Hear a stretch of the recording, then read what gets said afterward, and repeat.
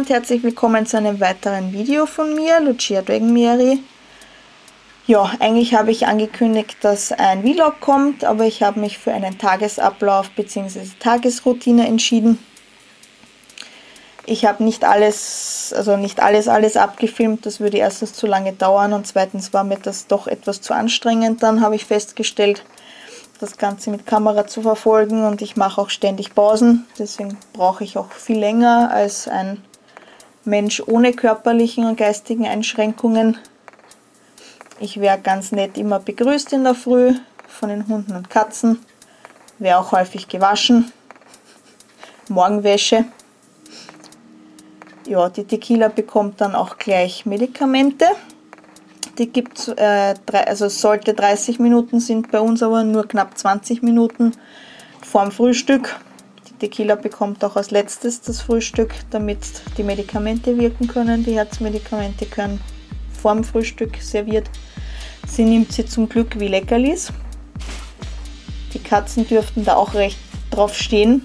Einmal hat mir auch die Mew was geklaut habe ich dann mitten in der Nacht beim Tiernotdienst anrufen müssen, aber es hat eh gepasst. Das, die müsste schon sehr viel davon nehmen, dass das ihr das Herz schädigt, aber trotzdem ist nicht besonders gut.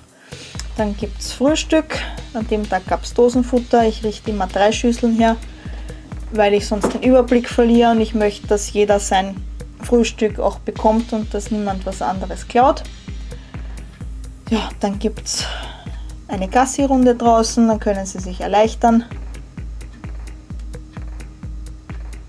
Wie man sieht, es liegt sehr viel Schnee momentan, was den Tagesablauf auch etwas einschränkt. Ja, dann bin ich bei den Mäusen, Hamstern und Ratten im Zimmer. Die kriegen frisches Wasser, Trockenfutter im Streu verteilt. Dann kommen die Meerschweinchen und Kaninchen dran. Die Kaninchen draußen, die Angora-Kaninchen bekommen Pellets, weil sie das wegen am Fell brauchen. Die haben doch einen, ein schnelles Fellwachstum und brauchen mehr Eiweiß. Da sind die Luzerne-Pellets recht gut. Dann sind die Hühner, Enten, Gänse und Puten da draußen dran. Die Hühner bekommen ein frisches Wasser draußen. Leider im Stall, das friert auch immer wieder ein. Da gibt es dann auch das, die Legepellets bzw. Legekorn fütter ich momentan. Das gibt es alles im Stall. Was im Stall nicht gibt, ist Salat, weil sie den sonst unter dem Streu beerdigen und das fängt dann an zu stinken, habe ich festgestellt. Deswegen habe ich das dann auf, nach draußen verschoben, genauso wie bei den Enten und Gänsen. Die bekommen auch Salat draußen, aber Wasser und Frischfutter drinnen. Da der Pool momentan zugeschneit ist, kann ich ihnen den nicht füllen. Dann sind die Wellensittiche dran. Die können sich aussuchen, ob sie drinnen oder draußen sein wollen untertags. Die kriegen auch äh, frisches Futter und Wasser. Was, Wasser war auch eingefroren. Im Stall ist nicht beheizt.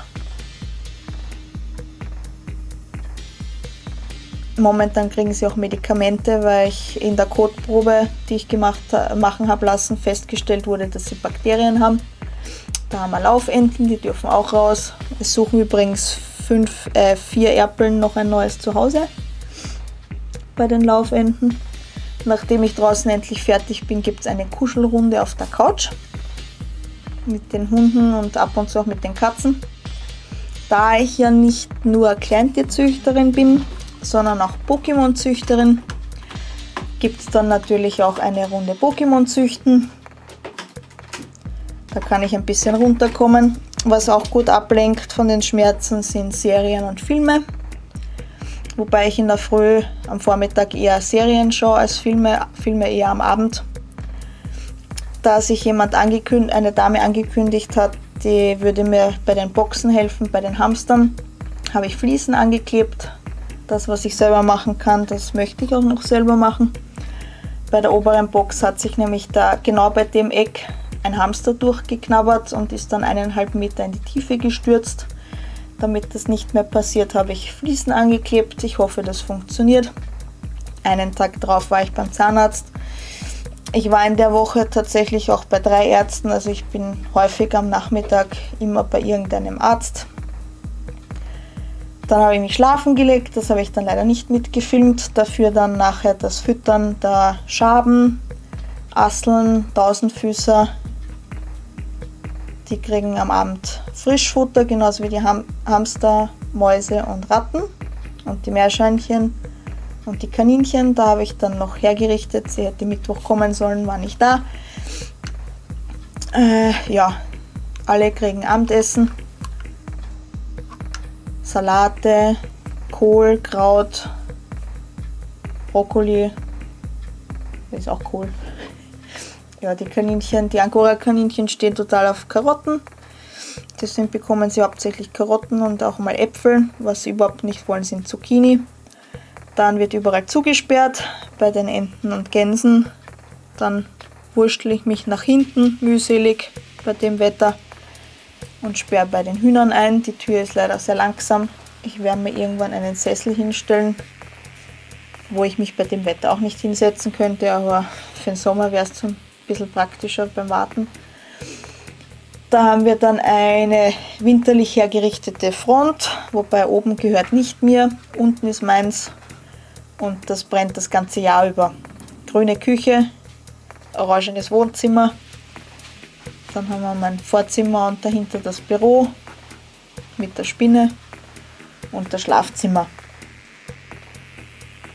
Und da ist der Vorgarten.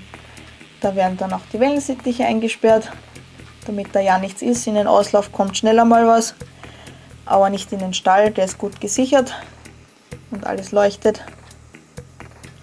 Dann dreimal die Woche circa wird Wäsche gewaschen.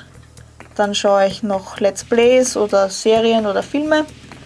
Dann gibt es mein Abendessen, das habe ich mir verdient. Mein veganes Erdbeereis. Dann gibt es noch Abendessen für die Hunde und Katzen. Die kriegen auch was kurz vorm Schlafen gehen. Die Kila hat natürlich vorher die Medikamente bekommen.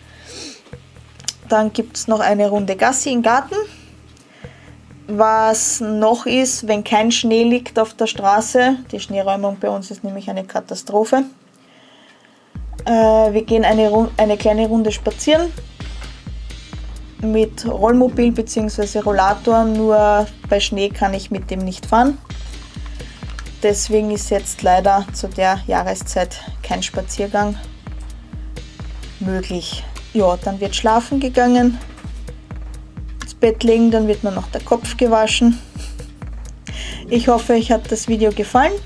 Ich habe euch einen kleinen Einblick geben können, wie es bei uns so der, der Tag abläuft. Das ist eigentlich jeden Tag dasselbe fast. Nur halt hin und wieder Arzttermine, die ein bisschen Abwechslung reinbringen, was ich überhaupt nicht leiden kann. Ja, ich hoffe, euch hat das Video gefallen und dann sage ich Tschüss, bis zum nächsten.